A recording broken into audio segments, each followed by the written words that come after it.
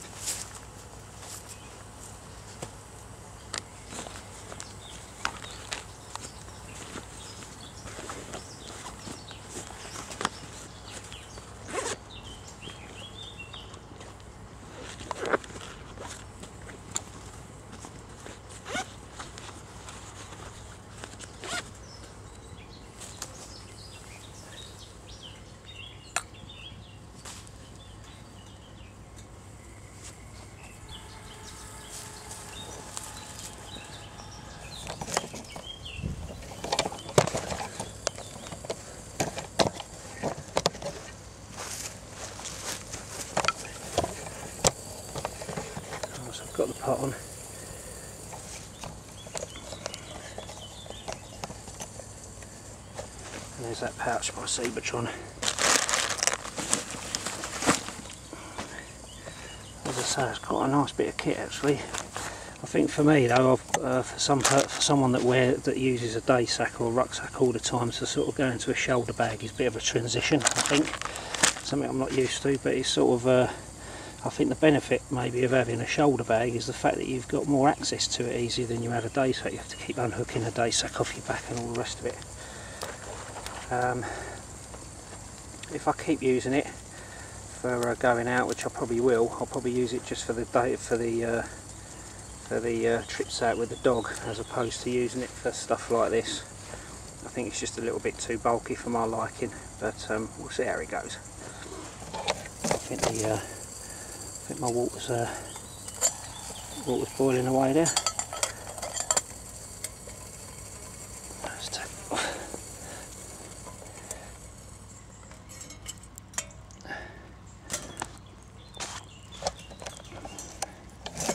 Yeah, so uh, yeah, not a bad bit of kit, especially a bad bit of kit for 20 quid as well. I'm like uh, proper pleased with it really so far.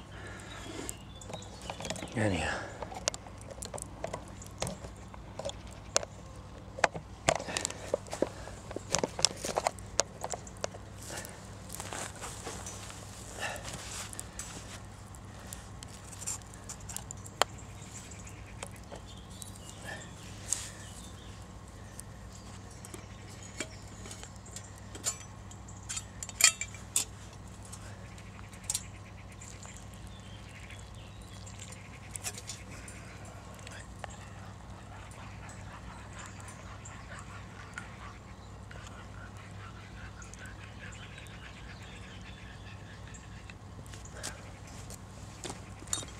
Suppose it'd be rude not to. Char cloth. be rude not to make some, wouldn't it?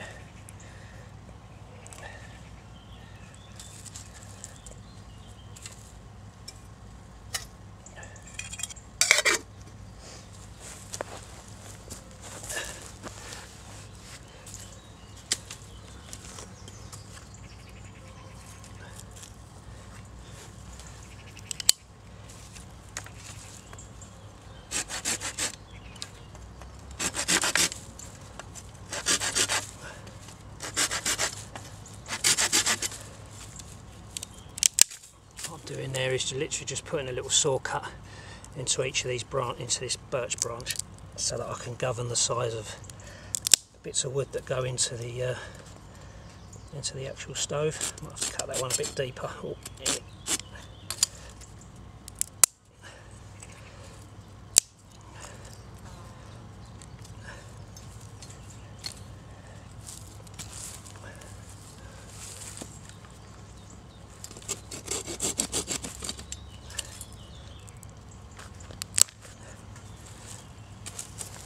Everything's nice and dry out here. We've had like no rain for weeks.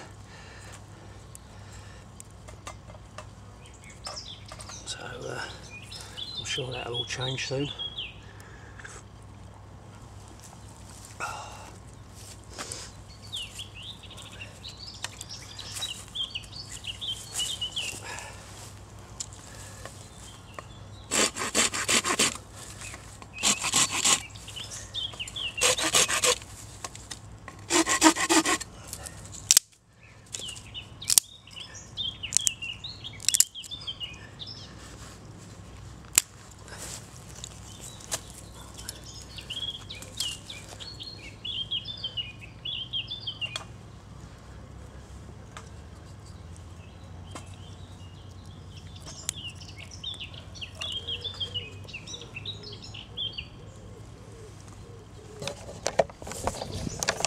One thing I'll say about that bag though is that obviously because of the uh, knife laws and everything in this country, the uh, my own problem that I have is that I can't pack my wildlife hatchet in now because it's just too big.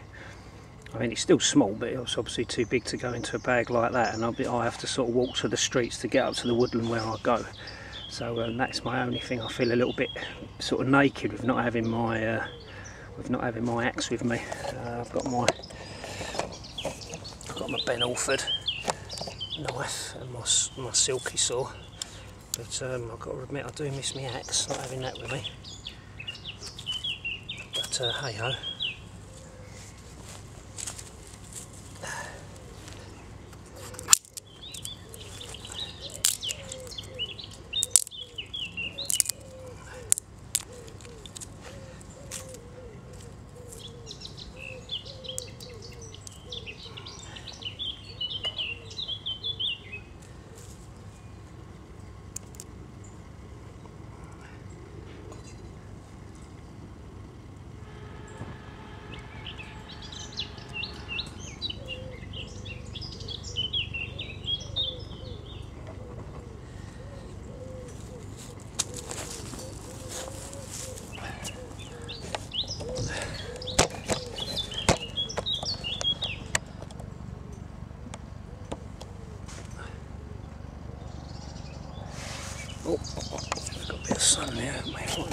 So yeah, so as I say,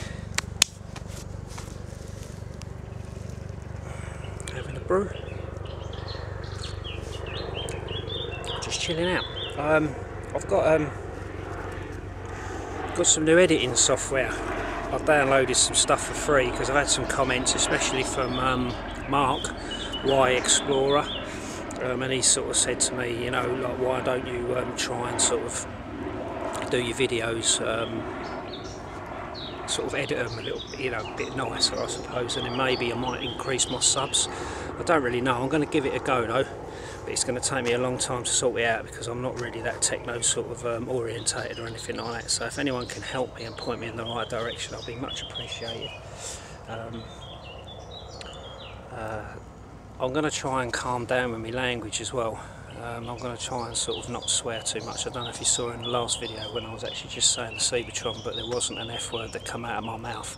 And I'm hoping that I'm not going to be able to do one today either. This is a bit of a rite of passage for me really, so I'm going to sort of stop swearing in my videos. Um, I think because some people like it and other people don't, and I think I'd rather sort of I'm trying to keep them natural, but obviously with just that a bit bad language, the odd word might slip out every now and again, but that's neither here nor there. Right. But um, I want to try and sort of, I want to try and get my sub base up somehow, folks, and I really don't know how to do it. I've been watching some. Um, it makes me laugh sometimes when I look through the list of some of the other videos that are on YouTube, and it's like I really don't know sometimes where they're coming from. But you know, there's some really, there's some maybe my videos fall into the shocking category but there are some shocking videos out there with absolutely millions of views and I pff, can't get my head around it how it happens I really don't I'm obviously uh, maybe I need to do it in my underpants a bit more like I said a while ago but uh, I'm trying to calm down a bit with the language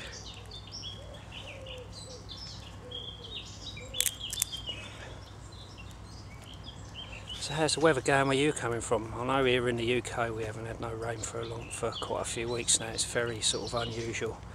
Um,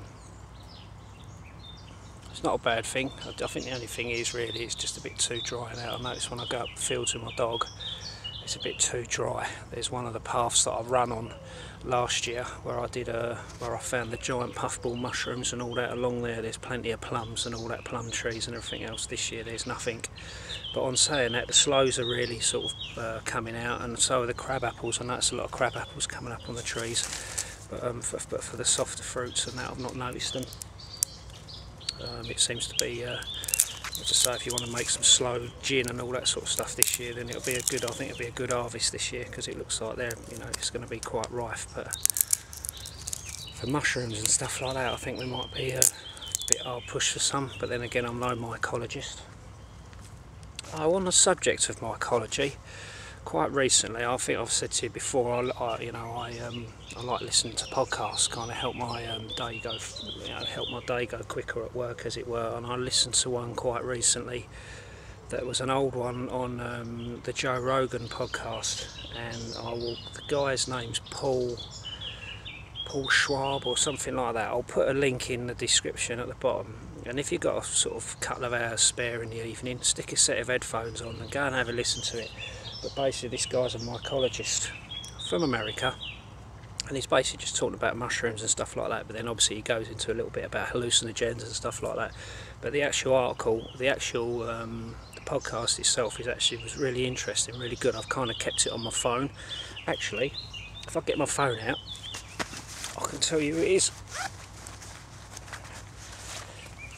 Bear with me a second.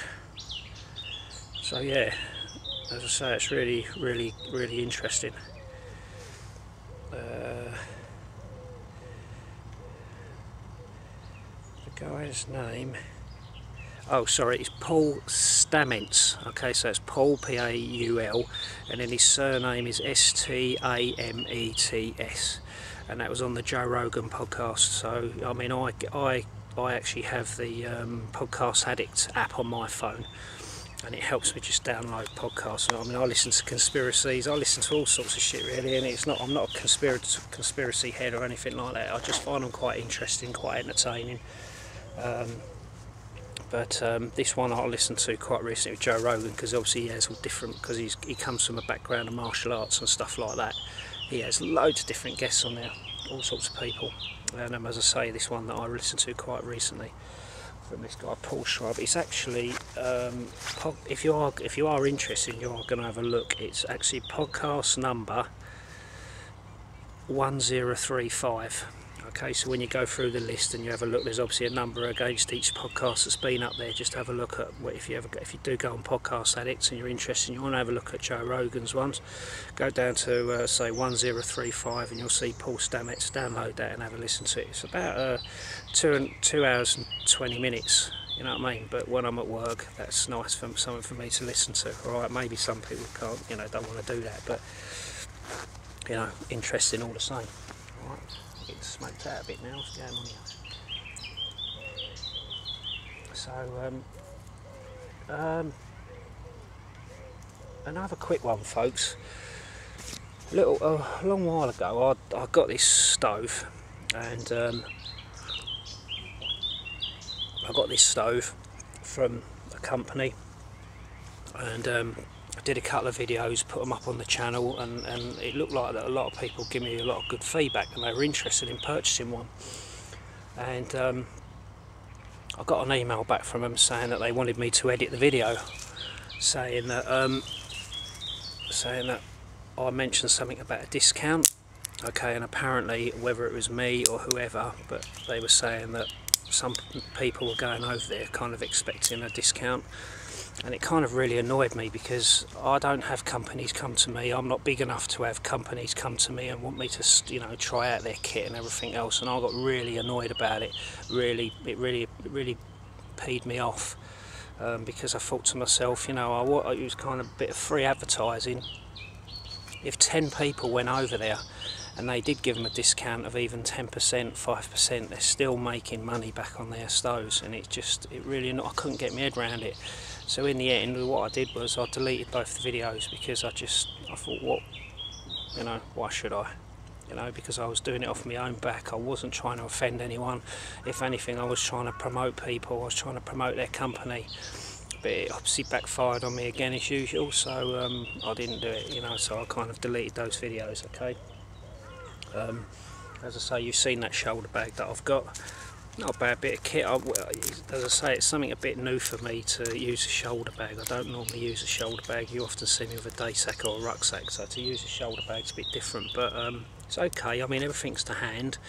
A lot of the stuff that I took out of my day sack went into there. I haven't got a tarp in there and stuff like that. But ideally, I did buy it for just going up the quarry with the dog, maybe stick a water bottle and a brew kit in there and stuff like that. It wasn't supposed to be as bulky as it is today. But I wanted to try it out and see what it's like, and it's not bad quality wise. I mean, obviously it's early days yet, but um, yeah, no, it's okay. I mean, whether or not I go back to using my day sack instead of that, I probably will do when I come up here. But if I'm doing something local, then I'll probably just um, I'll probably just use the shoulder bag.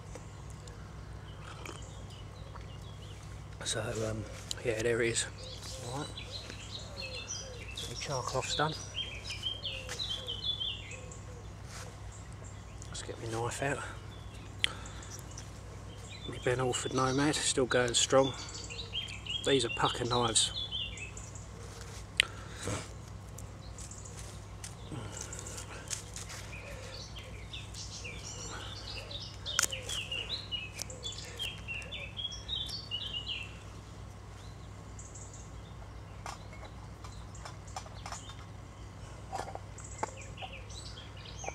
Actually, I don't think that's big enough. Bung that hole with a twig and it's not big and it's not thick enough to go in the hole. Let's try that one. Divvy. See folks, I can't multitask and talk to you. I wasn't even talking to you lot then, was I? We'll bung that up there anyway. So uh, yeah, so uh, it's not really, I'm not really doing a great deal today. I'll probably just flick up the video. What I might do is, I might even have an attempt at editing this one, see how it comes out. But you know, I'm not promising anything, but I am going to give it a go. So thank you, my Mark Y Explorer. I am going to have a go at editing them and see how it come out.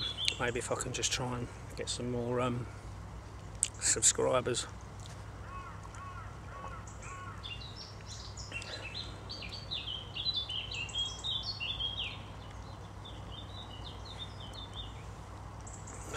Cheers, folks. I'll catch up with you in a little while. Do another video. Alright, take care.